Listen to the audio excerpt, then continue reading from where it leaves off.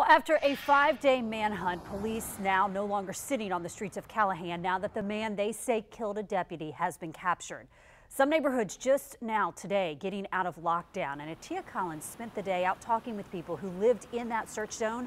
She joins us now with how they're feeling. Atia.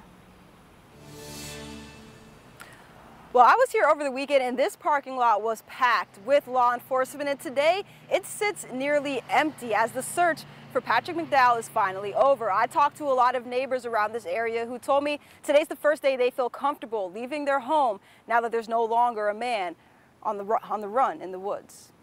They got him, so we're happy. We're thrilled. During the five-day manhunt in Callahan, Christy Park watched law enforcement from the porch of her business across from the First Baptist Church, where units were headquartered. It was scary. It was scary, especially with the kids. You're trying to still move around. Do you send them to school? Do you not send them to school? Park says today is the first day she felt comfortable sending her daughter back to school now that Patrick McDowell has been caught.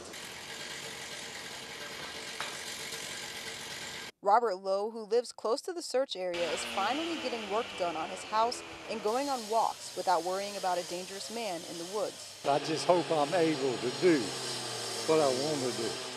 Walk to the post office, walk to the store, and walk the blocks that I usually walk.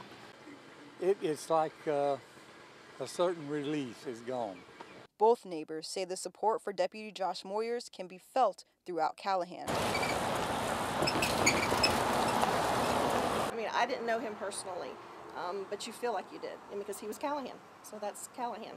So, I mean, you're, you're crying for somebody you don't know, but you feel it. Many of the neighbors I talked to are sending their prayers to Deputy Josh Moyers' families, and most, many of them are also sending in donations. Reporting in Callahan, Atia Collins, First Coast News, on your side. And